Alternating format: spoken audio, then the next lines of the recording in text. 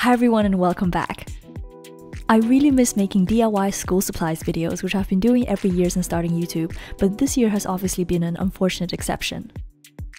So in this video, I'm going to show you some craft ideas that can help make a day of distance learning less boring.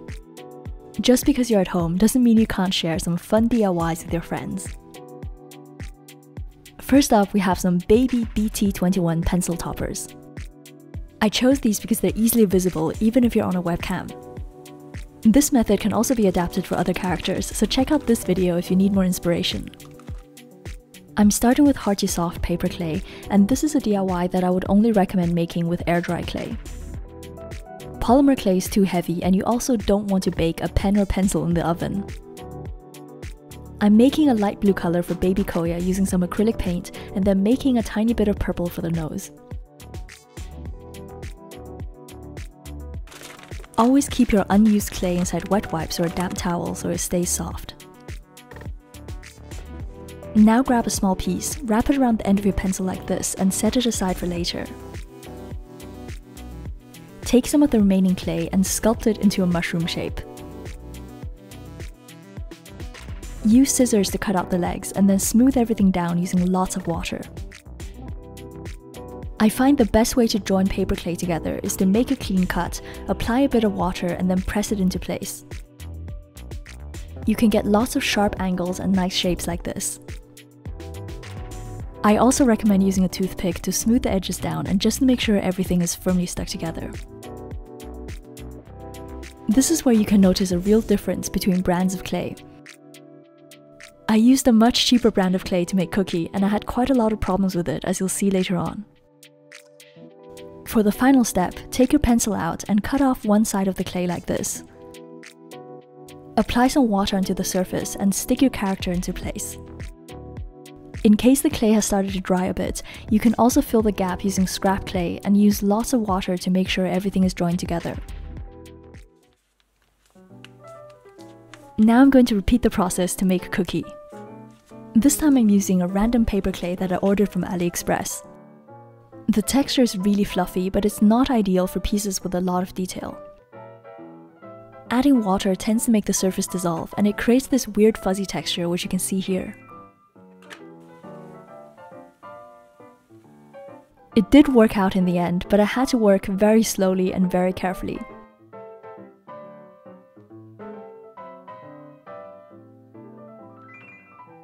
I painted on the facial features and attached Cooky to the pencil. These turn out so cute and is one of the few things that you can show on screen during video classes. Making pen toppers from clay gives you a lot more flexibility and they're much cheaper as well. For instance, you can make a bunch of crewmates and then send them to your friends to use in lessons, or make your favorite emojis and then hold them up as reactions. The possibilities are endless. The next idea is also a very simple but effective way to let your friends know that you're still thinking of them. This is the easiest friendship bracelet to make, and you only need to have embroidery thread in different colors.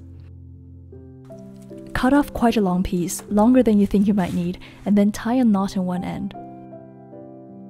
Start from one side and always work in the same direction.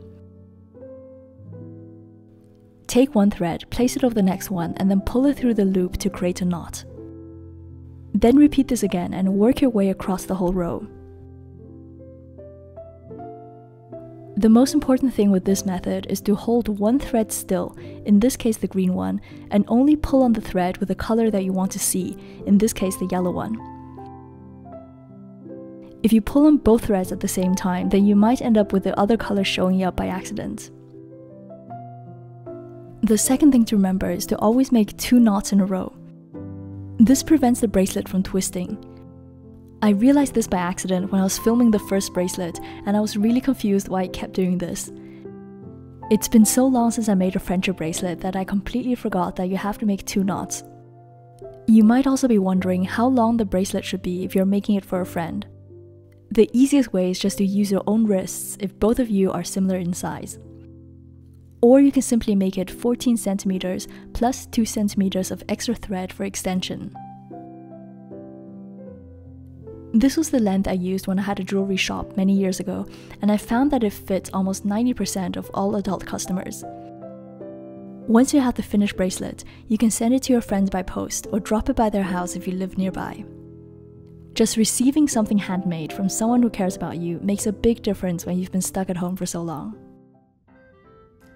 The final DIY is not that closely related to school, but it's definitely something you have to do at home. I found this kit on Amazon where you can make your own felted toy using a washing machine. The reviews are quite mixed, ranging from really fun and easy to do to smells like old socks. Since I've spent years making felting tutorials on YouTube, I had to give this a try. First of all, you have to fill a bottle with warm water, then add some soap and then attach the spray nozzle. This started as a fail for me because the spray attachment didn't fit onto my bottle. I'm not sure if it's the brand or maybe it's an American versus European thing, but I decided to skip it and that's completely fine. This DIY is based on wet felting, which is a crafting technique that's more widespread and probably safer to do than needle felting. Instead of a needle, you simply use soapy water to break down the wool fibers and get them to stick to each other. Start by placing the white wool into the nose part, then soak it with water and rub it into place.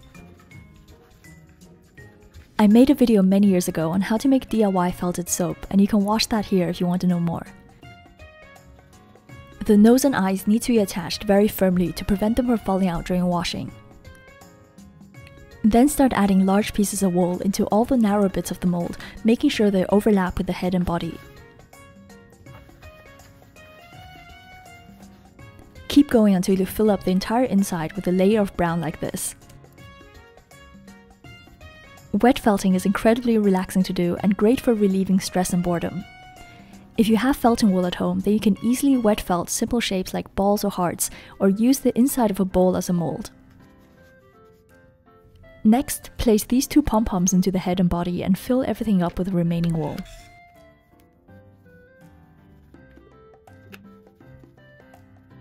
Then replace the back of the mold and clip everything into place. While I was doing this, I noticed that some of the water coming out was tinted brown. This bothered me a bit considering it's supposed to go into a washing machine with regular clothing, however the instructions do specify that it should only be with dark laundry.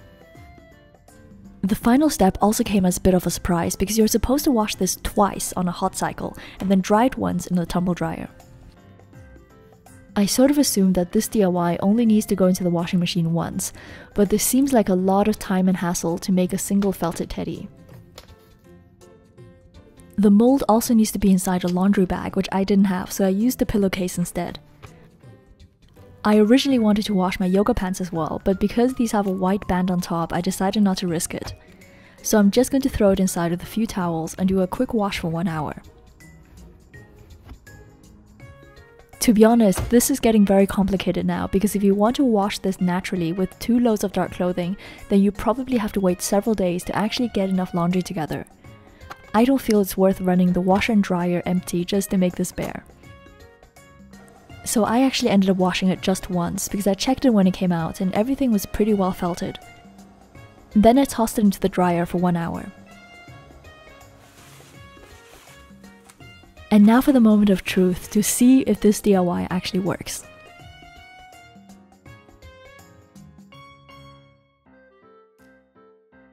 I have to say this bear turned out a lot better than I expected. It doesn't look perfect at all, but it sort of reminds me of a stuffed animal that's been loved so much until it became scruffy.